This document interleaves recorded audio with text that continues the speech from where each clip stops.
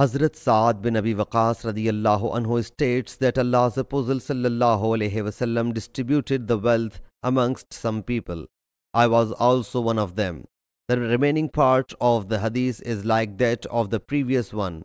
However, it adds I standing beside Allah's Apostle sallallahu alaihi wasallam secretly made recommendation. Sahih Muslim hadith number 378.